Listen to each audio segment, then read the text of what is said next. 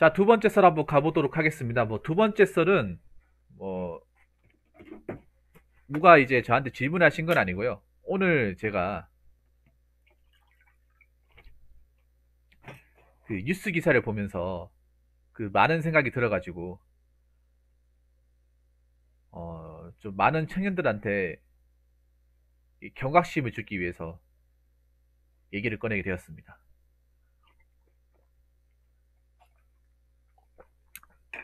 저보다 세상 경험이 많고 인생을 더 많이 사신 분도 계시겠지만 저도 적게 산 게 아니기 때문에 뭐 세상을 잠깐 경험한 게 아니기 때문에 감히 청년들한테 말씀을 드리자면 이 빚이라는 거 절대 우습게 생각하시면 안 됩니다. 우습게.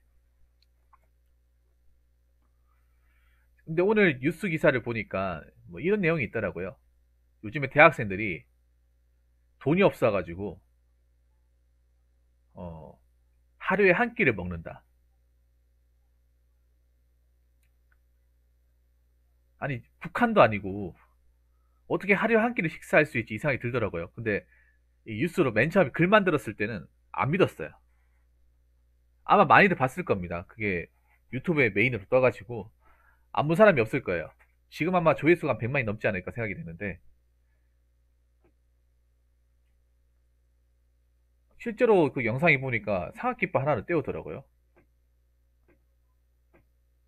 어, 굉장히 우려스럽더라고요. 그래서 왜 그렇게 떼우냐가 하니까 알바도 못 구하고 돈이 없다는 거예요, 돈이.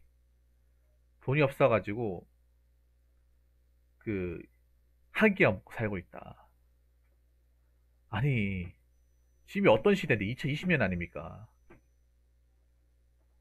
지금 먹고 사는 것 자체가 힘든 시, 뭐 그런 시대는 아니잖아요.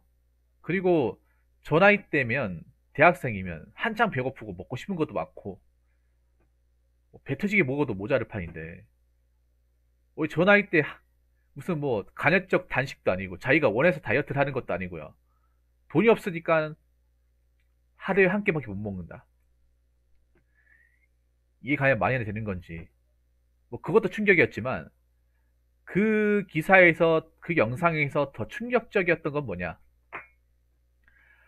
그 청년들 중에 빚이 많아서 개인 회생을 하는 사람들이 엄청 많이 늘어났다고 하더라고요.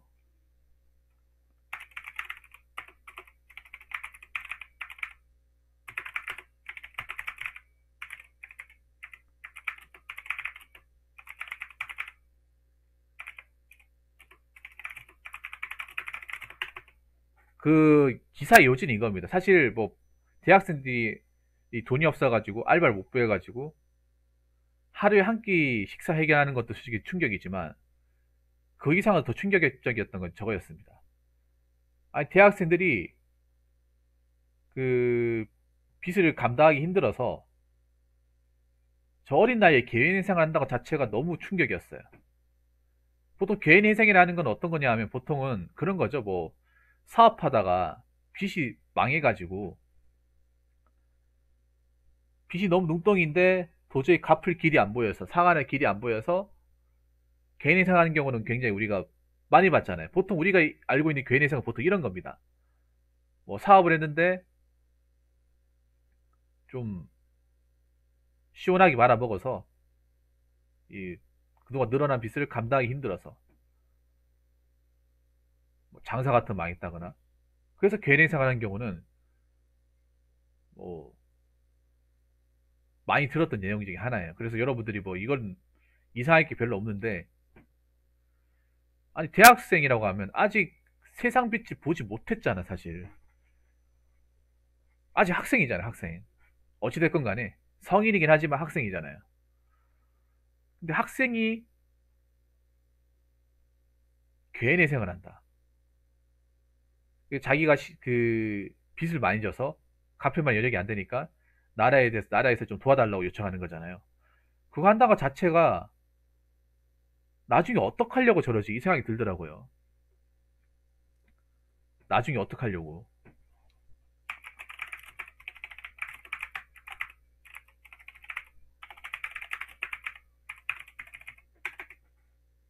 그러니까 물론 그 친구들도 개인 회생 지고 싶었겠습니까? 근데 왜 개인 회생을 지는지 그 내용을 보니까 이제 학자금 대출이 가장 컸고요. 학자금 대출하면서 그 생활비 대출까지 같이 했더라고요.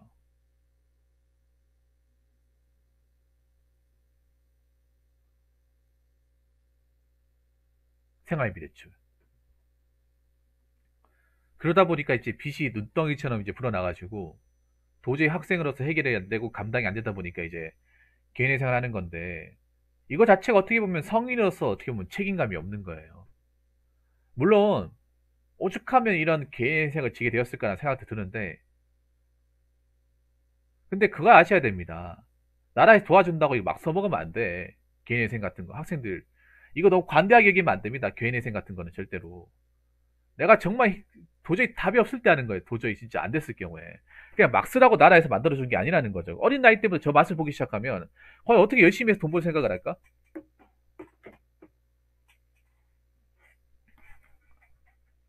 음? 아직 세상에 첫 발도 내밀지 못했는데? 제대로 된 회사도 다니지 못했고? 돈도 제대로 만져본 것도 없는데? 나중에 사회에 나와서 어떻게 정착하려고? 이 걱정이 더 많이 들더라고요 사실. 우려가.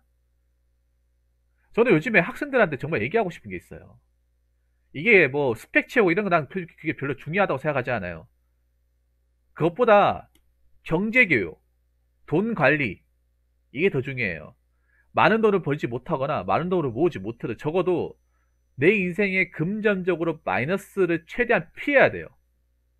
피해야 돼요. 사회에 나오고 나면 그 마이너스 때문에 제대로 꽃도 피우지 못한다고요.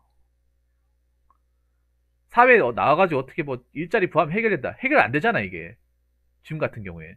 졸업한다 하더라도 취업 바로 안 되잖아요. 지금 저한테 왔던 그 몇몇 대학생들 같은 스펙도 굉장히 좋은데 취업 바로 못 하잖아, 이게.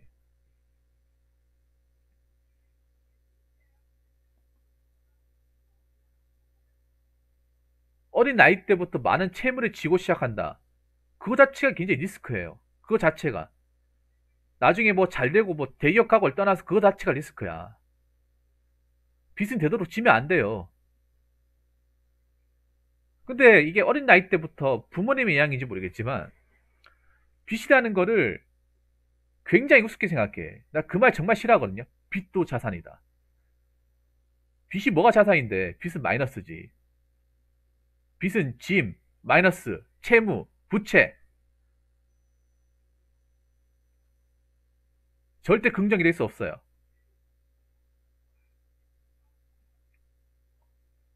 저는 그렇게 생각합니다. 여러분들이 지금 많은 대학생들이 뭐 엄청 엄청나게 대단한데 좋은데 삐까뻔쩍한데 들어가는 것이 중요한 게 아니라 적어도 내 인생에 5점은 남기면 안 돼. 5점은. 뭐 남들한테 뭐 상처를 준다거나 범죄를 저지르지 않는다거나 이것도 중요하지만 금전적으로 채무적으로 그런 짐을 지는 것도 피해야 됩니다. 우리가 뭐 부자 부자 돼야 된다. 돈 모아야 된다. 부자 되고 싶다. 근데 부자 못 되잖아요. 부자 안 돼도 좋아. 부자 안 돼도 좋은데 적어도 밥 굶는다거나 돈 때문에 고통받아서는 안 되잖아요. 자꾸 돈, 갚, 돈 갚아달라 이렇게 도촉당하고 하면 안 되잖아요, 이게. 어. 근데 이런 사람들이 많아지는 것 자체가 너무 안타까워요, 이게. 물론 오죽했냐마는, 오죽하면 이렇게 대출받고 했겠냐마는. 저는 그렇게 생각해요. 대학교도 내가 금전적으로 감당할 수 있다거나, 그럴 만한 책임감 느껴지지 않으면, 대학도 사치입니다. 사치예요. 왜냐하면 이제 대학교 나온다고 해서 그 값을 못한 시대잖아요. 대학을 비싼 돈 내고 돈 투자하고 한다 하더라도 그 값을 못한 시대예요. 여기 대부분의 지금 채팅을 보시는 분들, 유튜브로 제 영상을 보시면 대부분이 그 대학교 값을 못하고 있잖아요. 여러분 대학교 나온 거를 본전 뽑고 있습니까? 뽑는 사람도 있겠지. 뽑는 사람보다 못 뽑는 사람이 더 많죠.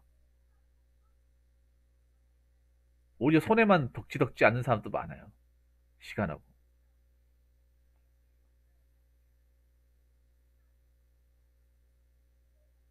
학생들한테 정말 얘기하고 싶은 게 대학생들. 혹시 대학생들이 이 영상을 보고 있다면 잘 들으세요.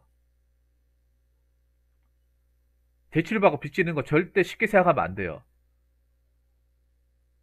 절대로. 뭐 졸업하면 왜 갚겠지. 뭐 시간 지나면 어떻게 되겠지. 안 됩니다. 안 돼요. 그리고 개인 인생 절대 만만하게 생각하면 안 됩니다.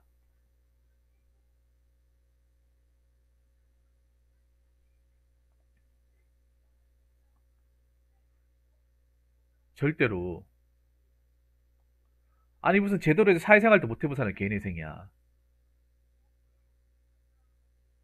그리고 없으면 없는 대로 생활할 수 있어. 없으면 없는 대로. 냉정하게 봐야 돼. 냉정하게. 어, 학생이라서 이해되고 용서되고 그게 아니라니까요. 학생일수록 더 정신 차리고 또 악바리 정신 발휘하고 더 냉정하게 봐야 돼. 냉철한 사고를 가지고.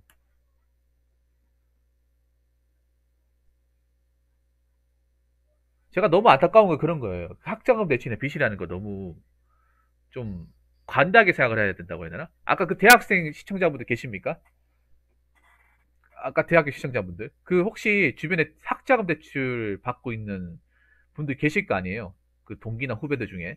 아니면 친구들 중에, 대학교 다니는 친구들 중에. 그 친구들한테 혹시라도 물어보기라도 했습니까? 학자금 대출 왜 갚는 거 어- 어떻게 하려고? 나중에 어떻게 갚으려고?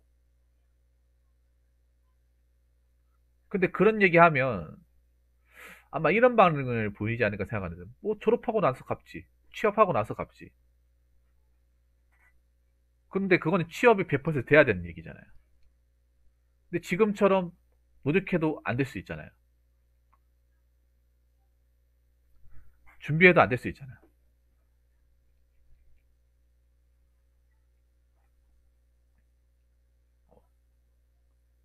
한번 잘못 발디뎠다가 정말 낭떠러지로 추락할 수 있습니다. 대학생들. 그 대학교에서 빚이라는 그 잘못된 사고가 나중에 어른이 되었을 때 이것 때문에 내 숨통을 쥐을 수 있어요.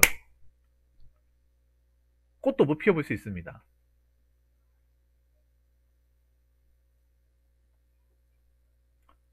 뭐 대기업 가고 좋은 데 가고 그것도 중요하지. 중요한데 이제는 아무나 그렇게 갈 수가 없는 시대예요. 노력한다고 해서 무조건 갈 수 있는 시대는 아니고. 그럼 평범한 월급에 평범한 직장을 다니면서 뭐 그렇게 생활한다고 해야 되는데 뭐 지금 당장 힘들고 하더라 한다 하더라도 절대 이 빚이라는 거, 이 채무라는 거 간단하게 생각하시면 안 됩니다. 특히 이 빚이라는 건 내가 안고 가야지 누가 누가 도와주고 하는 게 아니에요. 누가 도와주고 잡아주고 하는 게 아닙니다. 내가 평생 지고 가는 거예요. 안고 가는 겁니다. 그 학생 여러분들, 그 대학교 다니는 친구들, 학자금 대출 받고 있는 친구들, 한번 잘 생각해 보세요. 빚이라는 거 괜히 우습게 생각했다 골로 갑니다. 이거는 뭐 서울대 나오고 고졸이고 뭐가 다 필요 없습니다. 좋은 대학교 나왔다고 무조건 좋은 데 가지 않아요. 그 좋은 대학교 나왔다고 해서 빚을 갚는 거 빨리 갚는 것도 아닙니다. 정말 빚 때문에 내가 세상에 첫 발을 못 내밀 수도 있는 거예요. 못 갈 수도 있는 거예요. 빚이 너무 많아서. 사회 나온다 어떻게 되지 않, 되는 게 아니에요. 저는 그렇게 생각해요. 차라리, 그러니까, 뭐 내가 돈을 벌지 못하더라도 적어도 마이너스가 되면 안 된다고 생각해요. 마이너스가 안 되면 좀 늦게 가도 괜찮아요. 취업을 좀 늦게 시작해도 괜찮다고 생각해요. 근데 이 마이너스가 된 상태에서 취업마저 늦게 돼버리면 이거 어떡하겠다는 거예요, 이게. 취업하는데도 오랜 시간 걸리면 그 이자 계속 쌓일 거 아닙니까? 학자금 대출이나 뭐 생활비 대출 이자 엄청 세거든요. 계속 언제 갚을 거냐고 계속 추심하고 문자하고 할 텐데 그때 가서 어떻게 할 거냐 말이죠. 그때 가서 나중에 이 나중이란 말 자체가 굉장히 책임감 없는 말이야. 제프님. 굉장히 책임감 없는 말입니다. 나중 언제, 정확하게 언제, 언제 취업, 언제 취업할 거냐 말이죠.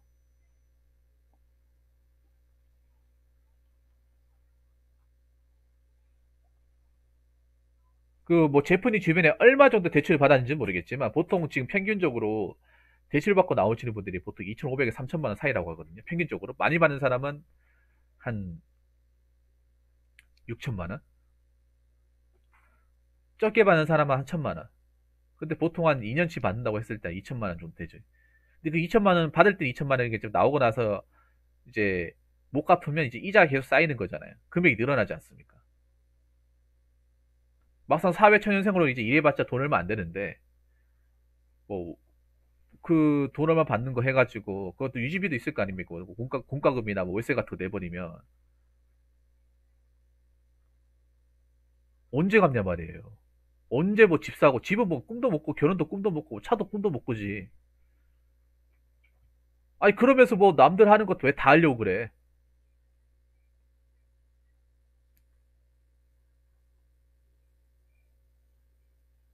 남들 안 하는 것 안 해도 먹고 살아요. 이거는 내가 좀 이따가 또 다룰 텐데 마지막으로 한마디만 마치겠습니다. 빚이라는 걸 너무 관대하게 이고 지금 심각한 걸 모르잖아요. 나이 중에 나이 먹고 나서 이것 때문에 굉장히 내 숨통을 쥐어오게 될 겁니다. 만약 그런 순간이 와도 누구를 원망하지 마세요. 본인이 벌린 일이니까.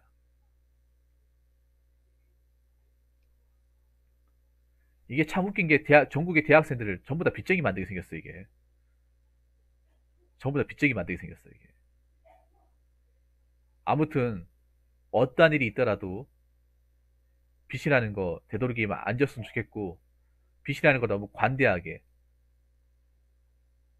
책임감 없이 대하지 않았으면 좋겠습니다. 자, 이상으로 두 번째 썰 마치도록 하겠습니다.